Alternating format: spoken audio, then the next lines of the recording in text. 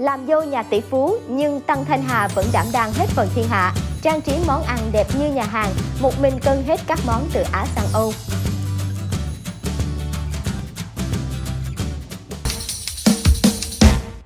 Bận rộn trong nhiều vai trò khác nhau, nhưng Tăng Thanh Hà luôn dành thời gian trong lịch trình làm việc dày đặc của mình để nấu ăn mỗi ngày cho gia đình. Vừa là một doanh nhân, vừa phải chăm sóc hai con nhỏ, nhưng Tăng Thanh Hà vẫn vào bếp rất thường xuyên. Tăng Thanh Hà luôn khiến người hâm mộ phải thích thú mỗi khi chia sẻ những hình ảnh món ngon từ chính căn bếp. Cô nàng ngày càng chứng tỏ khả năng nấu nướng thượng thừa với việc có thể cần đẹp đủ món Á Âu từ dễ đến khó. Việc nấu ăn vừa giúp cô thỏa mãn đam mê bếp núc, vừa có thể chiều theo sở thích ăn uống của ông xã và hai con. Quan trọng hơn hết, Tăng Thanh Hà là người rất quan tâm đến việc ăn sạch, sống khỏe. Các món ngon cô thực hiện cho gia đình luôn có đầy đủ giá trị dinh dưỡng cân bằng nhiều nhóm thực phẩm khác nhau.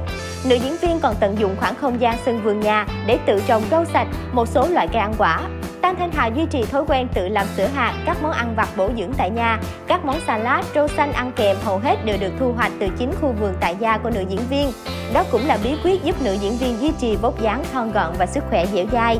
Ngoài ra, cô nàng còn lập hẳn một trang Instagram để đăng tải nhật ký vào bếp của mình. Việc chia sẻ hình ảnh những món ăn mình làm lên mạng xã hội là cách để Tăng Thanh Hà lưu giữ lại những khoảnh khắc hạnh phúc, thư giãn bên gia đình. Cô trở thành hình mẫu truyền cảm hứng cho các chị em phụ nữ. Cô đã chứng minh rằng một người phụ nữ hiện đại vẫn có thể cân bằng tốt giữa công việc và gia đình. Từ những món ăn giản dị như cháo cá, bánh mì, bánh căn cho đến đại tiệc Giáng sinh kiểu Âu cũng không thể làm khó Tăng Thanh Hà. Thực đơn Eat Clean của cô cũng là nguồn tham khảo đầy hữu ích cho những chị em mong muốn được đa dạng hóa bữa ăn nhưng vẫn giữ dáng được tốt. Không ít lần Louis Nguyễn, ông xã Tăng Thanh Hà dành hết lời khen ngợi tài nấu nướng của vợ trên mạng xã hội. Các con của cô cũng vô cùng thích thú khi được phụ mẹ nướng bánh, làm các món ăn vặt đơn giản tốt cho sức khỏe. Có hôm cô nàng khiến mọi người phải trầm trồ với món gà quay giòn cho bữa trưa của gia đình và tận dụng làm thêm món salad ưa thích của mình, vừa ngon miệng vừa đủ chất cho cả nhà.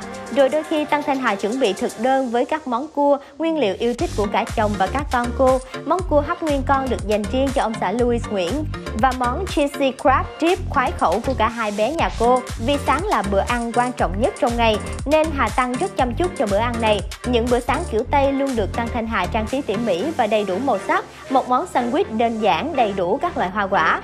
Không chỉ các món Âu mà các món Á cũng được Tăng Thanh Hà nấu rất khéo léo và tỉ mỉ. Điển hình như món cháo trắng đi kèm là trứng muối, trứng bắc thảo, dưa mắm, cá cơm chiên, tôm rang, ruốc. Món cháo trắng đơn giản nhưng được người đẹp chuẩn bị rất cầu kỳ và phong phú. Không chỉ vậy, Hà Tăng còn làm cả món phở bò rất đổi quen thuộc. Bát phở có đầy đủ topping như bò tái, bò chín và bò viên. Bà mẹ hai con từng làm món bún riêu chuẩn hương vị Hà Nội có thêm tôm to ăn cùng. Điều hành một nhà hàng đồ ăn Tây, nhưng Ngọc Nữ lại thường sắn tay vào bếp chế biến những món ăn thuần Việt cho chồng con. Hà Tăng từng trổ tài là món bánh canh bột sắc tôm thịt. Mọi công đoạn nấu nướng nàng Ngọc Nữ đều làm thủ công, chế biến món ăn này khâu nhồi bột là lâu nhất. Nguyên liệu nấu kèm món ăn này là tôm và thịt nạc heo băm nhuyễn. Thành phẩm sau đó khiến dân tình mê mẩn bởi có hình thức bắt mắt, hấp dẫn. Một loạt lời khen có cánh cho món bánh canh bột sắc hấp dẫn của Tăng Thanh Hà. Có thể thấy, dù làm dâu nhà tài Việt, nhưng nữ diễn viên phim Bỗng dưng muốn khóc vẫn luôn tự mình vào bếp, cân bằng tốt công việc và gia đình. Dù không còn hoạt động quá nhiều trong showbiz, nhưng cuộc sống của Tăng Thanh Hà luôn khiến mọi người quan tâm và ngưỡng mộ. Nhớ bấm nút theo dõi kênh nhé!